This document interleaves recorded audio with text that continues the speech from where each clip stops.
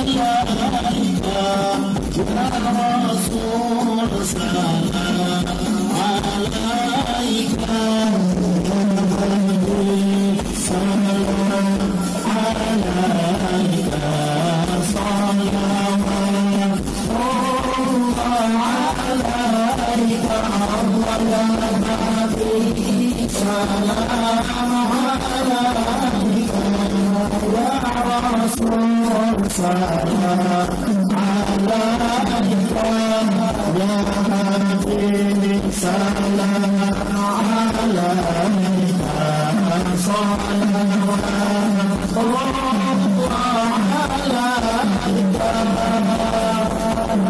على النبي محمد. اللهم صل عليه.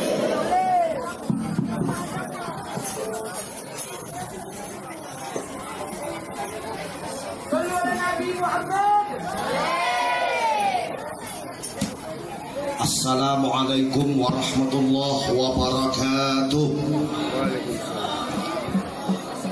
السلام عليكم ورحمة الله وبركاته. إن الله وطر يحب الوطر السلام عليكم ورحمة الله وبركاته.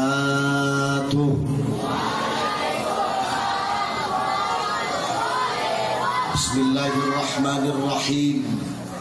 وبرضا الله تعالى وبرضا النبي محمد صلى الله عليه وآله وسلم.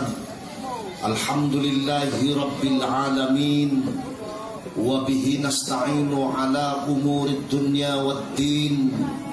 والصلاة والسلام على أشرف الأنبياء والمرسلين. وعلى آله وأصحابه أجمعين. أما بعد. وقال الله تعالى في القرآن الكريم أعوذ بالله من الشيطان الرجيم. بسم الله الرحمن الرحيم. قالوا سبحانك لا علم لنا إلا ما علمتنا. Innaka antal alimul hakim. Sadaqallahul azim. Ashab sa'adah kepada para kiai, para alim, para ulama. Wabil khusus Ahinal Fadil Al-Karim Bapak Ketua RW serta stafnya.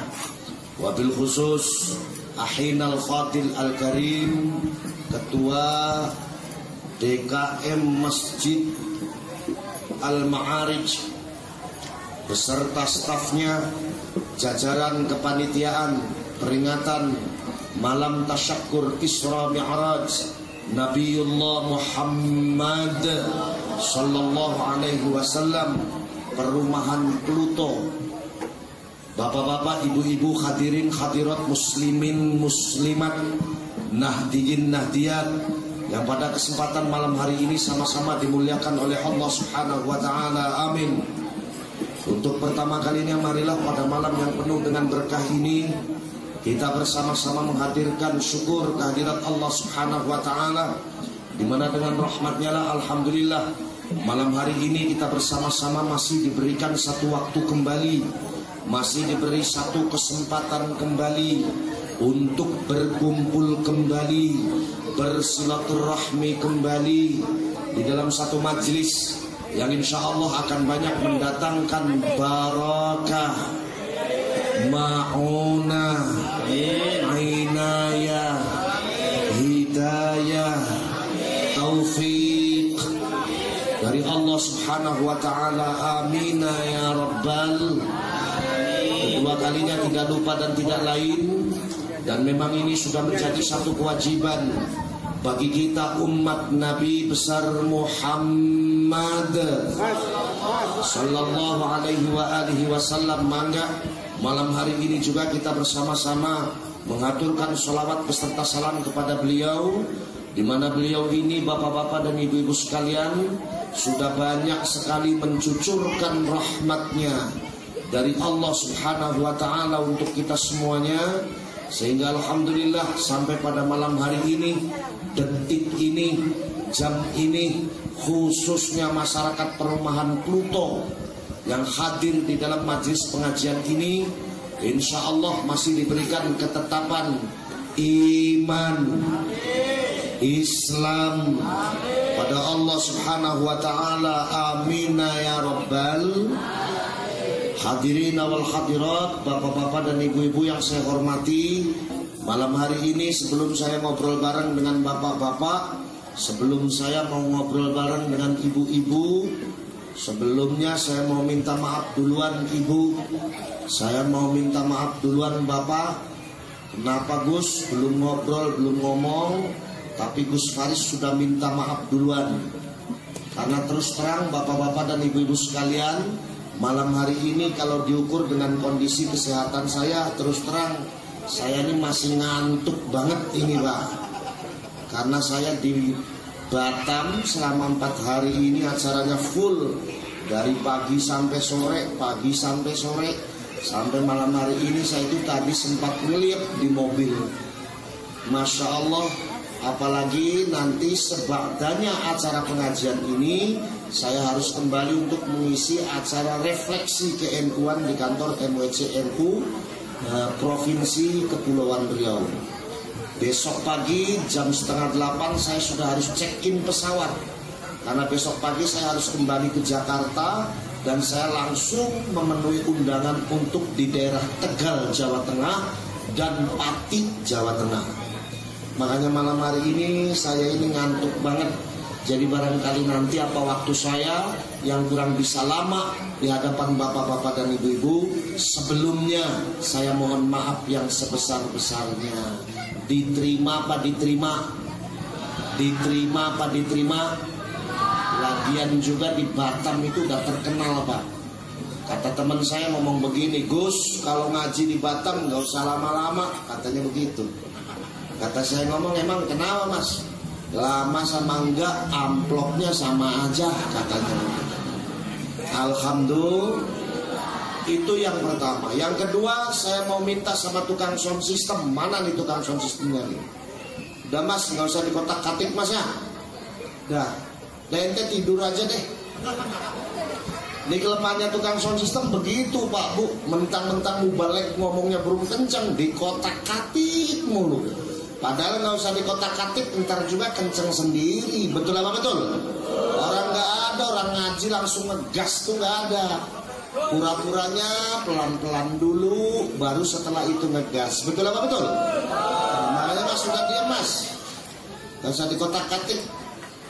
Berani kotak katik tulisan lagi pulang pengajian saya gebukin gitu. Alhamdulillah. Yang terakhir saya mau nanya, di perumahan Pluto kalau pengajian malam biasanya nyampe jam berapa? Jam berapa? Jam 2 Emang saya wayang jam 2 Dah saya mau nanya ke ibu-ibu aja Bapak-bapak mah jarang yang jujur Bu Bu Bu Ibu-ibu senang yang panjang apa yang pendek? Eh?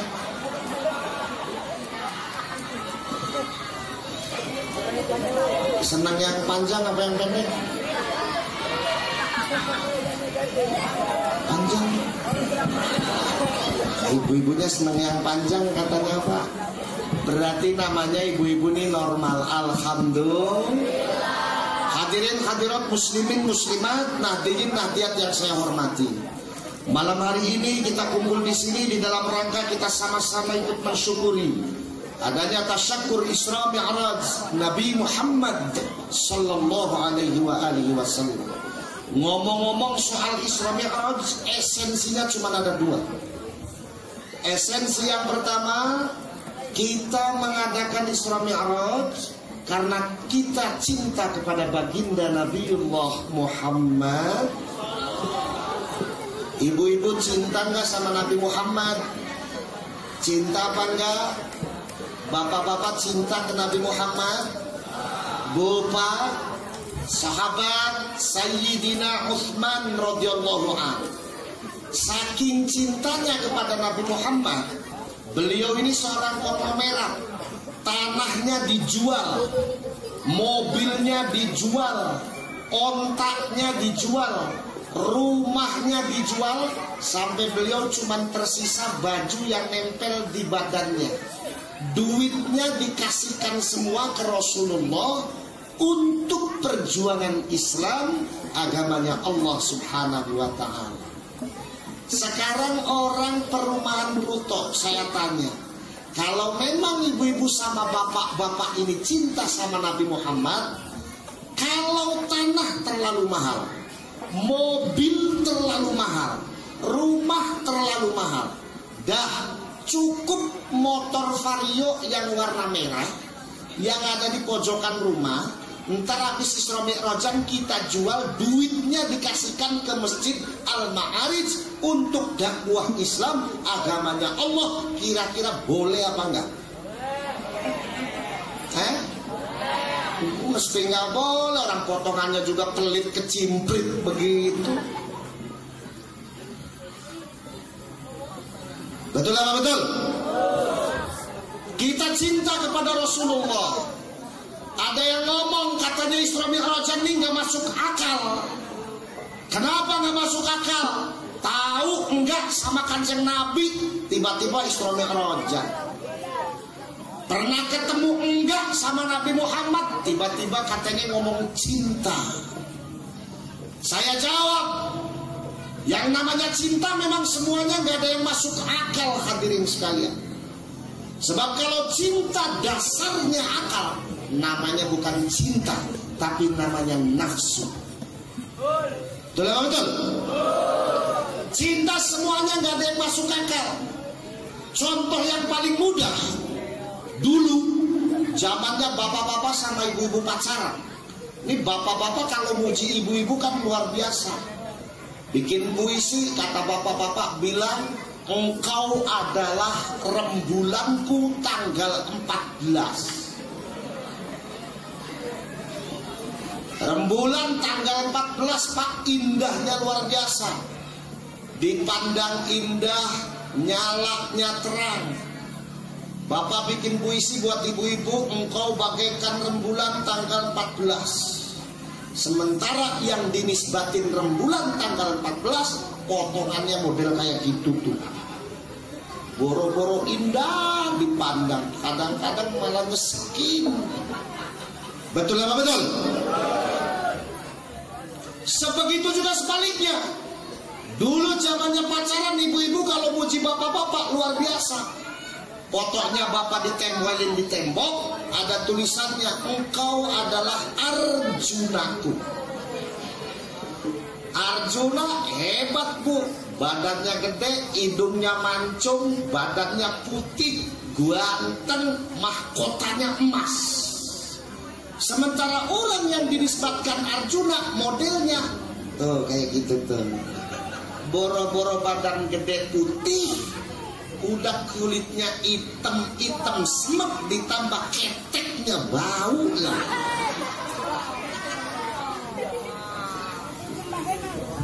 Betul apa betul? Tapi itu namanya cinta. Kalau orang cinta, barometernya bukan akal, maka apa pun bisa terjadi termasuk kita cinta kepada Rasulullah Wasallam dengan mengadakan Isra Mi'raj termasuk kita cinta kepada Rasulullah Sallallahu Alaihi Wasallam dengan kita membacakan sholawat. Ya Nabi salam.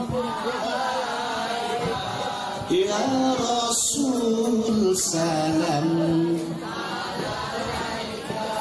Ya Habib Alaika Salawat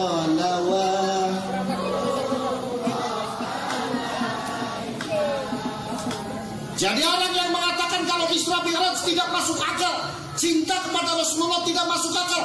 Memang tidak masuk akal, tapi bukan berarti tidak sah untuk dilakukan. Kenapa? Karena kita cinta kepada Rasulullah dasarnya adalah syariat dari Allah Subhanahu wa taala diturunkan kepada Rasulullah dan diturunkan kepada kita umatnya dan ini yang dinamakan dengan syafaat Rasulullah Shallallahu alaihi wasallam di alam dunia.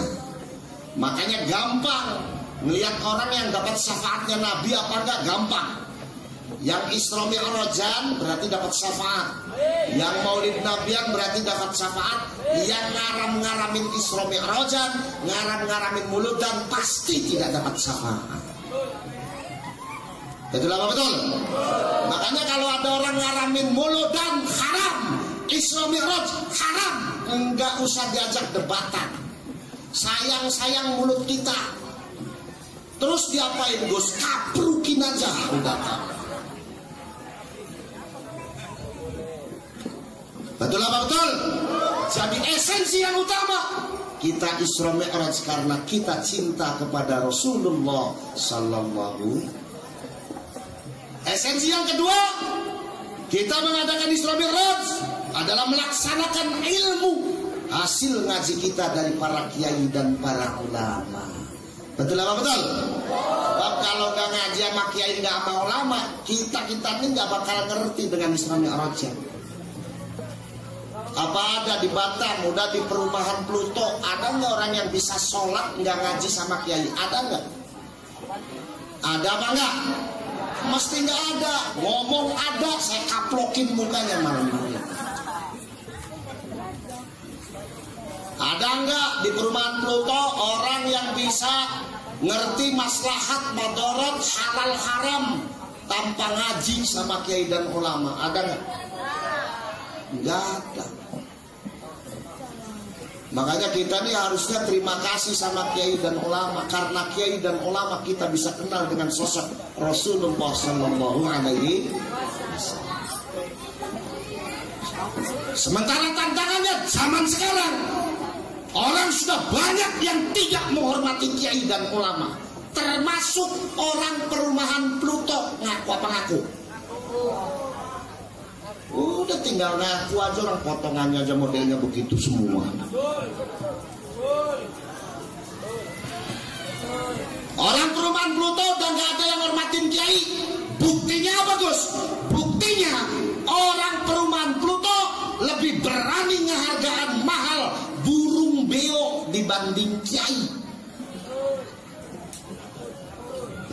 Beo fasih enggak, ngerti enggak, timbang cuma bisa niru Assalamualaikum. Assalamualaikum. Orang perumahan Pluto di pasar gunung berani ngehargaan 3 juta. Betul apa betul? Sementara kiai ngaji di masjid baca kitab satu lempir, baca Quran satu juz nyampe mulut aja meniren. Pulang-pulang 7500 udah 7500 ditambah sandalnya hilang. Bisa.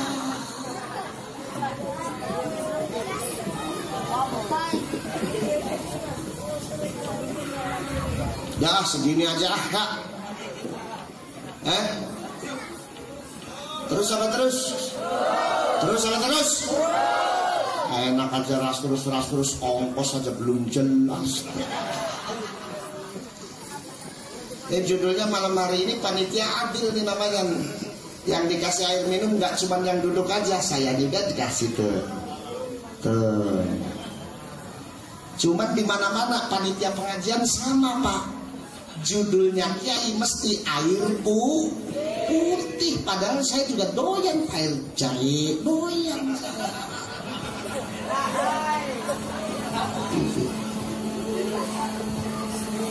Aqua segini di Cirebon 2500 air jeruknya 3000 kalau dijumlah berarti 5500 Ya saya mah gampang aja ntar kalau saya pulang amplopnya kurang 5500 berarti minuman dua ini nih.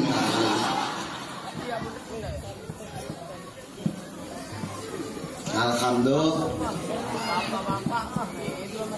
Padahal jelas kata Rasul, laulal ulama lakanan nasu kal bahai. Di dunia ini kalau nggak ada kiai sama ulama, kita ini bakal hidup kayak hayawan semua, Pak. Lagi banyak kiai sama ulama saja kita ini hidup sepertinya pengennya maksiat terus. Apalagi nggak ada kiai dan ulama. Kata Rasul jelas, mautul alim, mautul alam. Wafatnya ulama, wafatnya kiai, itu kiamatnya dunia, rusaknya dunia, alias matinya dunia. Betul apa betul? Kalau wali kota mati, gampang nyari gantinya. Orang belum mati aja yang nungguin udah ada 10. Gubernur mati, gampang nyari gantinya. Belum mati aja yang nungguin udah ada 15.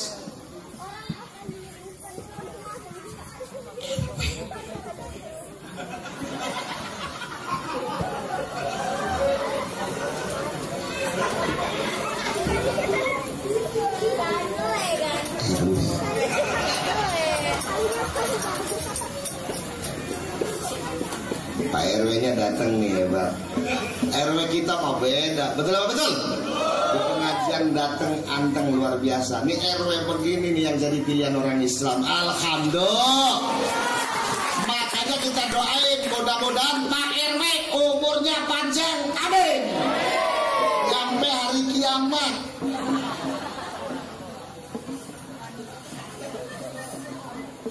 Ntar giliran orang udah mati, semua tinggal Pak RW doang sendirian. Na'udzubillah min. Bupati mati, gampang nyari gantinya. Gubernur mati, gampang nyari gantinya. Menteri mati, gampang nyari gantinya. Presiden mati, gampang nyari gantinya. Tapi kalau kiai, ulama wafat, siapa yang bisa nyari gantinya? Susah apa susah? Susah apa susah? Susah bu. Orang jangankan kiai, jangankan ulama. Lagi imam musola aja. Imam apa? Ngerti musola ngerti? Apa musola? Hah? Kalau kata orang Jawa ngomong katanya langgar. Kata orang Cirebon ngomong namanya tajum. Imam musola.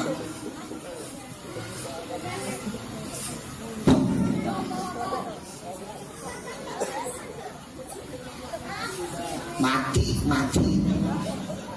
Mati. Itu susah nyari gantinya, Pak. Sekalian sekalinya dapat nggak puguh. Udah orangnya tua, azan di musola, dapatnya salah paham. Allahu Akbar, Muhammad.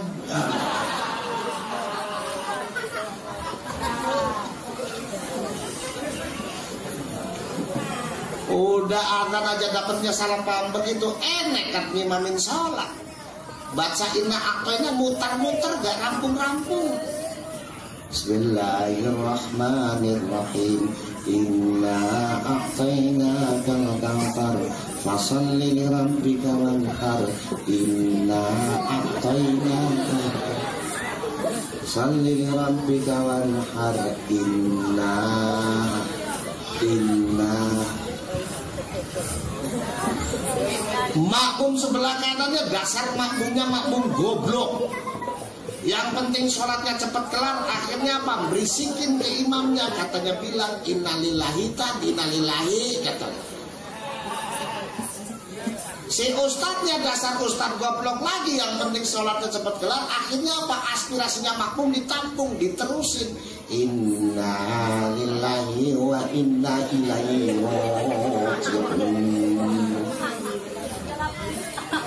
yang lebih goblok lagi makmum samping kiri ini kayak-kayak dari perumahan Pluto nih. Nggak ada apa-apa, nggak ada apa-apa. Ujung-ujung, amin.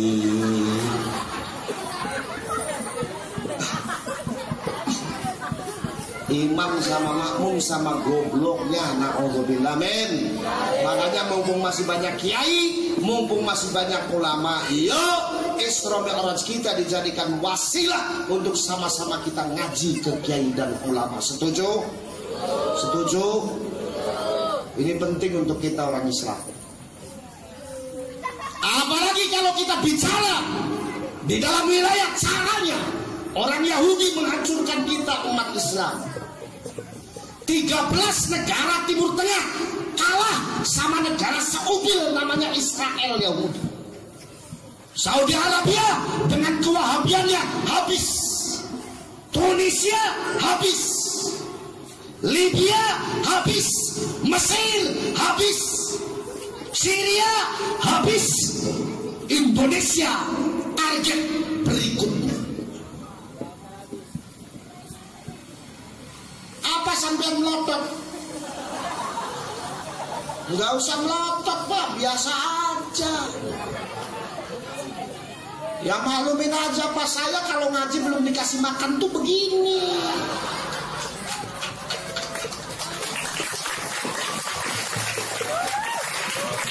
Orang tadi saya datang panitia bolu lagi bolu. Cuma dasarnya saya dari hotel udah lapar akhirnya ada bolu ya udah Bismillah aja saya caklok. Alhamdulillah kenyang.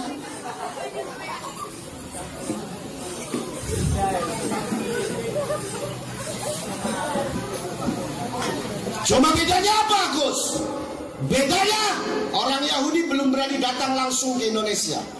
Saya pernah diutus oleh pengurus pusat Gerakan Pemuda Ansor untuk mengadakan penelitian radikalisme Islam transnasional tiga tahun pak sampai Thailand. Bedanya orang Yahudi belum berani datang langsung ke Indonesia. Kenapa? Karena satu akidah ahlus sunnah wal jamaah yang diusung oleh para kiai dan para ulama di Indonesia kuat.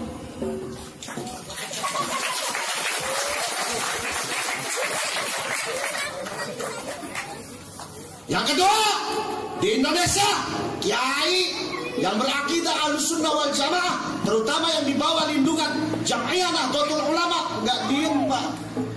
Banyak kiai-kiai kita yang sudah sepuh, tapi masih ikhlas ngurusin pesantrennya. Betul apa betul?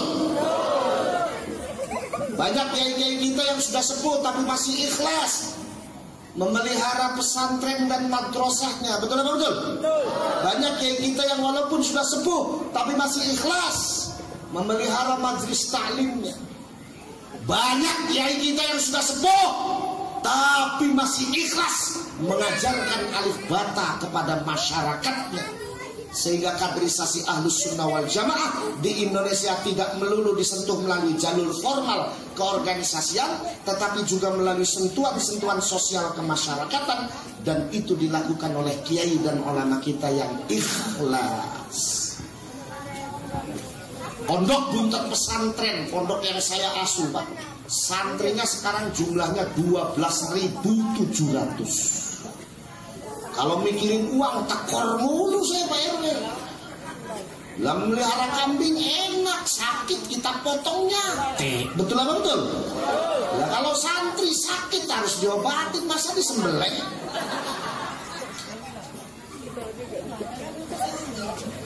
Tapi saya melihat ini perjuangan dari nenek moyang saya untuk syiarnya Islam, akidah ahlus sunnah wal akhirnya udahlah biar tekor ayo aja. Antepin terus alhamdulillah sampai sekarang masih lestari alhamdulillah. Yang ketiga di Indonesia masih banyak pejabat yang peduli dengan pembangunan agama masyarakatnya. Pejabat yang peduli dengan pembangunan moral akhlak masyarakatnya. Kayak contohnya Bapak RW kita yang hadir malam hari ini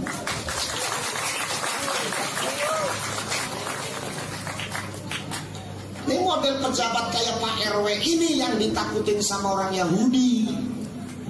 Tapi urusan takut sama Pak RW bukan cuma orang Yahudi, saya juga takut. Orang matanya pecicilan begitu.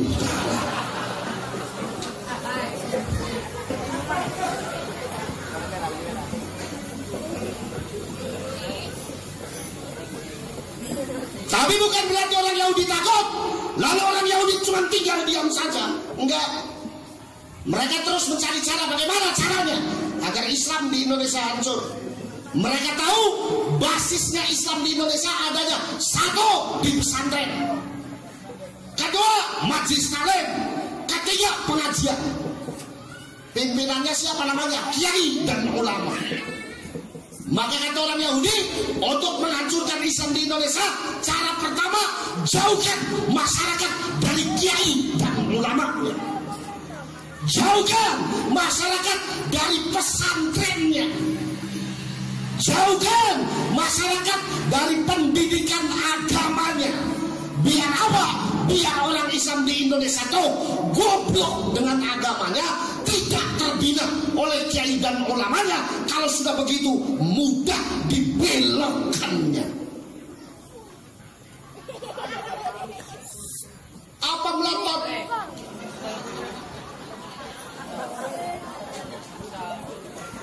Ngaji belum satu jam dari pelototin mulu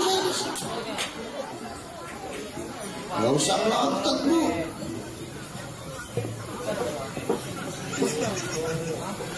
Kalau masyarakatnya sudah jauh dari kiainya, dari ulamanya, dari pesantrennya, dari majlis taklimnya, dari pendidikan agamanya, masuk cara yang kedua. Apa terus? Perbanyak aliran sesat di Indonesia. Kebukti apa kebukti? Kebukti apa kebukti? Kebukti. Zaman reformasi ujuk-ujuk di Indonesia banyak aliran yang gak karu-karuan. Betul apa betul? Pertama reformasi ada aliran namanya aliran Islam murni. Yang kalau sholat isya 30 perempuan, 30 laki-laki Selesai sholat listriknya dimatiin Terus nubruk sedapat-dapatnya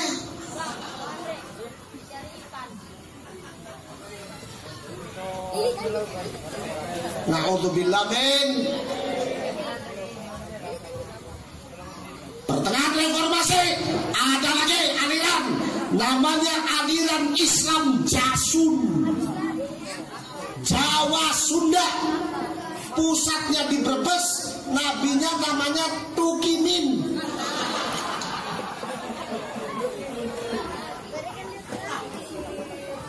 tukang bakso ngaku jadi nabi pak. Namanya Tukimin kata saya ngomong masa nabi namanya Tukimin ya mesti nggak enak. Betul apa betul? Terutama di solawatannya. Masa kayak tadi sambil diketimpringin rebana masa solu ala tukimin ya nggak enak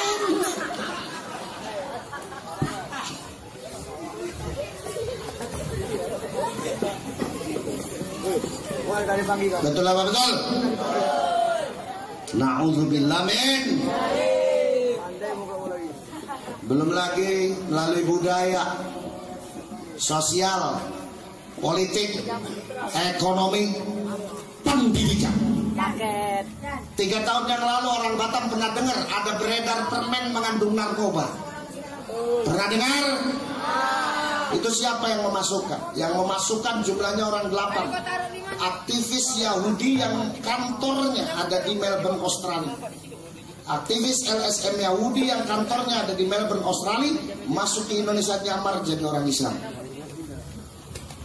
Pernah dengar tiga tahun yang lalu ada beredar buku-buku SD yang tidak layak dibaca, mengandung pornografi. Siapa yang masukin? Delapan orang itu. Yang ambil yang. Dan akhirnya sekarang lagi dikejar-kejar sama Interpol karena dianggap merusak kehidupan sosial kemanusiaan. Tujuannya apa? Tujuannya merusak moralitas generasi Islam di Indonesia. Ujuk-ujuk zaman reformasi banyak orang ngaku-ngaku jadi nabi. Betul apa betul? Yang paling masyhur namanya Ahmad Musadek. Pelatih bulu tangkis ngaku jadi nabi bu. Dapat wahyu dari Bogor. Kata saya ngomong orang mah ke Bogor dapatnya tales bapak.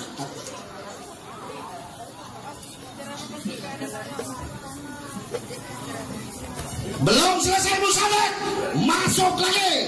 Giliran perempuan bikin gara-gara.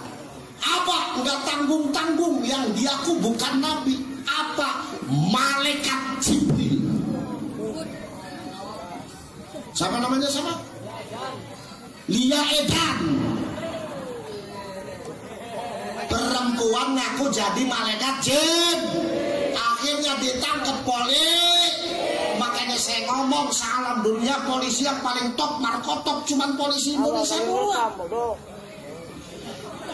Bisa nangkep malaikat Jibril.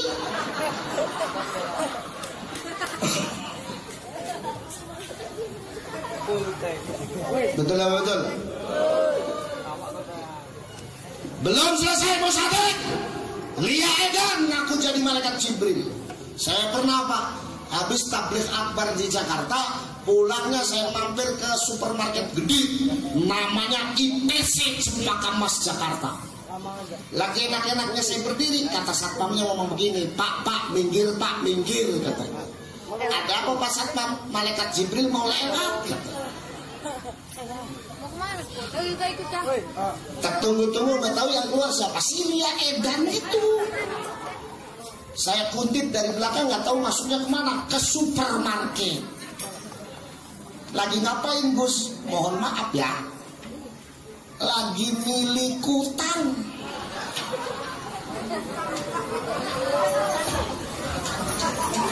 Masa malaikat Jibril pakai kutang?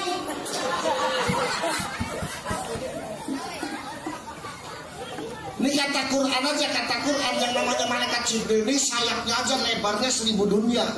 Sayapnya doang. Sekarang kita bayangin malaikat Jibril pakai kutang.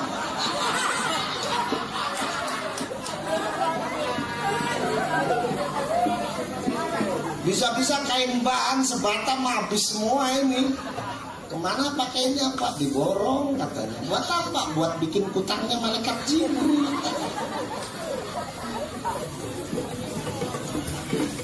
Na'udzubillah min. Belum selesai dengan Lia Edan Masuk lagi. Giliran dari sebelah timur Jawa. Ada orang yang bikin gara-gara. Apa? Ngaku jadi malaikat Jibril? Enggak. Ngaku jadi Nabi? Enggak. Tapi berani-berani merubah syariatnya sholat. Siapa namanya Gus? Namanya Kiai Roy. Sholatnya pakai bahasa Indonesia Pak Disangka semua bisa di bahasa Indonesia ini Sampai sholat pakai bahasa Indonesia. Padahal yang masuk rukunnya sholat yaitu Kiraatul Fatih Nah, Fatihah yang dimaksud di sini yang Qurani. Kalau bahasanya diganti sama bahasa Indonesia Berarti Fatihahnya udah gak Qurani lagi. Ini gak sah. Disangka semua bisa di bahasa Indonesia Sholat pakai bahasa Indonesia. Padahal sholat pakai bahasa Indonesia lucu semasjid rame. Yang jadi imam orang Cirebon bahasanya Jawa kowe. Takbiratul ikhramnya Gusti Allah gede pisan cah.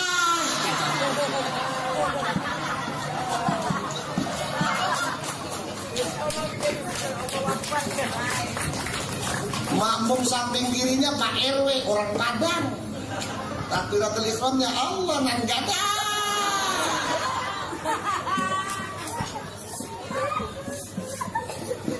Samping sebelah kiri saya nih yang paling ngebingungin sebab dari dua tempat Tegal sama Brebes.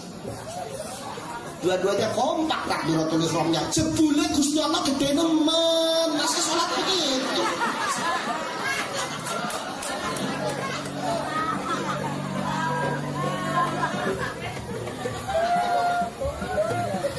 Na'udzubillah. Di sana semua bisa di bahasa Indonesiain. Iya mah iya, tapi yang begitu-gitu pisan. Sebab yang namanya Islam ini agama yang paling luas, betul apa betul? Endang remeni bodoh, uang remeni bodoh, jaminane suargo, uang remeni bodoh, jaminane suargo. Tembang solawatannya orang Jawa Tengah. Dari Jawa Tengah ke Barat ke mana? Betawi, kata orang Betawi nembang solawatan. Hayu kawan sami, kita seneng ibadah. Orang seneng ibadah, jaminannya surga. Orang seneng ibadah, jaminan sorge tembang solawatannya orang Betawi Betawi dari mana ke selatan mana Bandung Sunda